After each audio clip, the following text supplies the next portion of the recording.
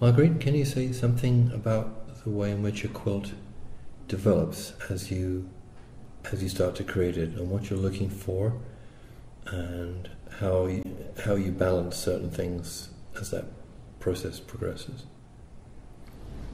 Well, it's, I might have to give you a, a specific example. Um, I, I have things that I've always been interested in, and let's say one of them is the subject of clowns. Know, I bought clown makeup, I've made myself clown uh, costumes. So whenever I had seen clown fabric, I used to collect it.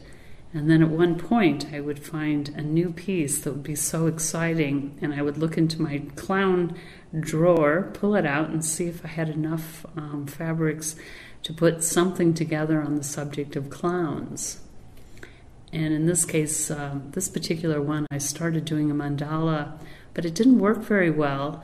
And it was much more interesting uh, to do it in rows and make it more of a carousel uh, feel to it and that one is quite a different one than any of the other ones I had done. But but it seems to the the fabric the fabric itself seems to suggest what the uh, organization and pattern is going to be.